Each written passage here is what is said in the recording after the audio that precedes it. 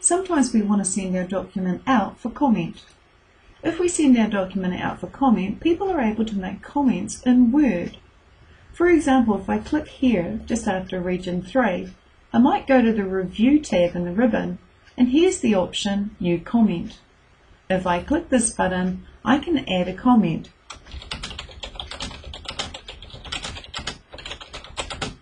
I think this should be region 4. I might also click here and add another comment. Now you can also, besides using the button New Comment, you can use the shortcut key combination Ctrl Alt M. You can also right click and insert a new comment this way. I'll add another comment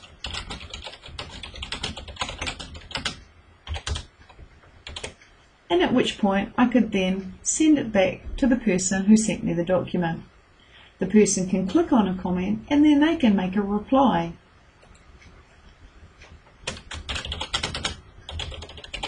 For example, the whole idea is once I send the document back, I want to be able to move easily between the comments. To move between comments, you have got a next button and as you click the next button, it just moves to each next comment. You've got a previous button. So you can easily navigate to the next comment and the previous comment using these buttons here. You can also use Control G, which is short for Go To. And you can choose Comment on the left hand side. And you can choose which reviewer you want to move between their comments. You can move just by hitting the next button and the previous button you can also just simply use a plus to move relatively forward or a minus to move relatively backwards. And close. If you wish to print your comments, you can also do that simply by going File and Print. It should automatically print your comments, but if it doesn't, just check that under Print All Pages, you have got it ticked Print Markup. Print Markup or also list of markup will print your comments. At the end of the day, we decide to act on those comments or not, and we decide to delete those comments.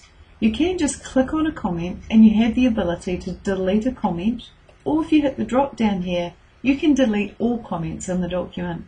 So I'll delete all comments.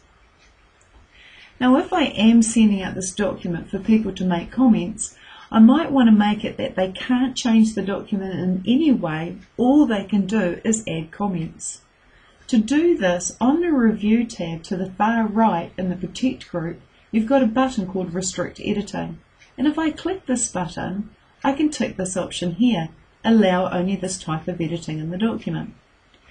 If I sent it as no changes and started enforcing that protection, then the person would not be able to make changes to this document it would be reader only, and they'd only be able to read it and print it, and they wouldn't be able to take the protection off unless they knew the password.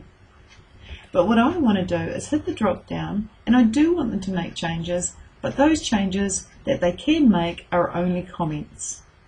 If I choose comments, and then I go yes, start enforcing protection, I can put a password. For example, I might add the password Mars in lowercase because it is case sensitive and then I re-enter Mars, M-A-R-S, to make sure that what I entered in the first box matches the second box, and OK. If I then close the restrict editing pane, they can't do anything to this document except insert comments.